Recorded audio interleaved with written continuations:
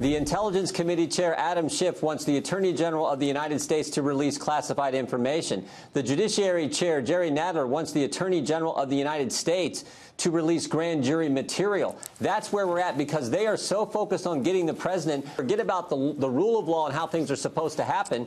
They're all about getting the president, and that is a sad state of affairs. So, Jim Jordan calling out his colleagues. Democrats have ramped up their investigation of the president in a significant way, too. They moved on three issues in about eight hours yesterday. Ken Starr wrote the book Contempt, a memoir of the Clinton investigation. He's got some experience on this. And, sir, good morning to you in Waco, Texas, and thank you. Uh, thank you for coming back here. Jerry Nadler said his committee must see everything that Barr has in his possession. How much do you think they will see, or perhaps, given your experience in this, how much do you think we see in the end? We have to protect grand jury information, full stop. Uh, now, there can be a court order under certain circumstances to reveal this, but you know, there are policy reasons for grand jury secrecy. It's not just a rule, it's a rule that says witness, when you go before the grand jury, you can rest assured, you got to be truthful, don't lie, but you can rest assured that that will remain confidential except the most extraordinary circumstances. Just wide and full disclosure is just not anticipated by, uh, by witnesses. So I think it really tugs at the very purpose and function of a grand jury. Leaving aside national security information, as we know, Bob Mueller reached out to uh, a number of uh, foreign countries. There's some 13 requests of foreign countries. So there's a lot of sensitive stuff, and we haven't even gotten to privacy interests that uh, Chairman Nadler used to care a lot about. Yeah, um, the, the, the way the law was for you 21 years ago, you were required to give yeah. your report to Congress the way the law is since is that you know Mueller's required to give his information to Attorney General William Barr, to which he said last Friday afternoon we're preparing the, for the report for the release, and the special counsel is assisting us in this process. Peel back the curtain. Are they all in a room together saying what's in and what's out? How does that work?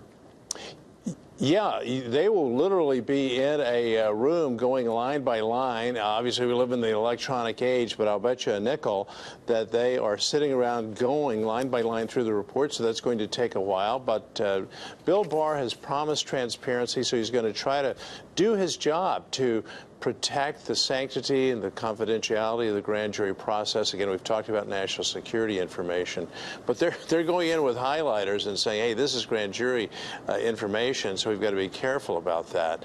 So, by the way, just as a quick editorial yeah. note, we now see the problems of what we used to do during the statute under which I operate, which is full disclosure, give it to Congress, and then Congress will do whatever it wants. So guess what Congress did with the so-called Starr report? Revealed it all, shockingly, right? And then people recoiled and said, well, we don't want that anymore. That's what these regulations are designed to do, to stop that kind of complete, full Monty disclosure. Oh.